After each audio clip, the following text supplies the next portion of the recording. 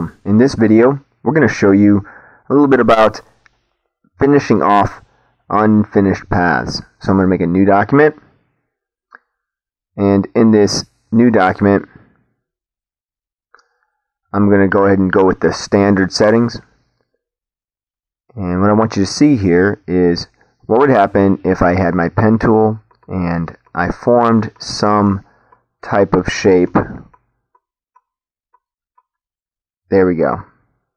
Now, right now, this shape, uh, if I use my black arrow, click on it, I can see that it has a fill. I'm going to go ahead and give it a more obvious fill, and I'm also going to give it a more obvious line.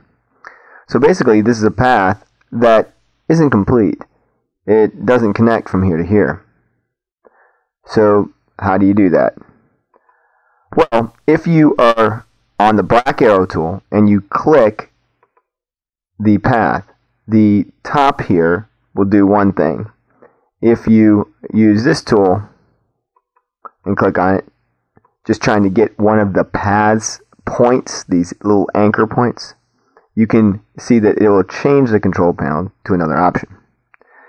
Now, with the way this works is you can click on one of these points at a time. Now, these other ones pop out and you can see their handles, but I want to be able to select two of these at the same time what I'm going to do is select this top left one, and then I'm going to hit Control and hit the other one. Or, I'm sorry, Shift and hit the other one. So now I have two points selected. These two points I want to connect. Well, believe it or not, there's a handy dandy tool to do that. It's called the Connect Selected Endpoints tool. So this is how you connect two lines together. Now what it's going to do is going to automatically make a straight line. That's what it does in CS5. That's exactly what I wanted it to do. Let's try it again in another situation. I'm going to take a point here. Oh, wrong tool, missed it. Let's use that. And come around and around. Then I'm going to get really like close. But I'm not quite there. Okay, so let's take a look at what this is we were to zoom in on this, it's like, yeah, they're not quite there. No problem, we'll zoom out. So when they're really close like that, um, if they're like on top of each other, okay, let's see if I can get these to be on top of each other. Um, I'm just gonna kind of get it right there. But it's not like they're connected. See, it's not making a loop. Okay, I'm going to once again hold down Shift until both of them are selected. Now that option comes up, this little guy's there again. I can connect them. And then it makes a corner. So you can see how that works.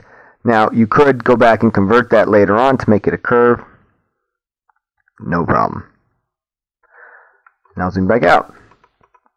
So, what have we learned in this one? Pretty simple. We're just going to connect two endpoints by using shift click to select them. They don't even have to be part of the same thing. Let's try it again. This time I'm going to use the regular pen tool, draw a line. Okay, and then I'm going to have another object, draw, let's see, draw another line.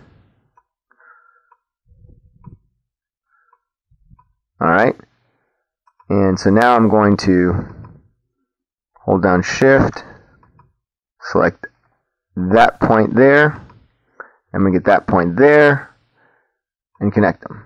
So you can see how that works. Now in this case, it selected, it ended up connecting to the other side, but that's okay. So anyway, what I want you to do is practice connecting different points to make them connect together. Hold down shift, grab these, and then use that little tool.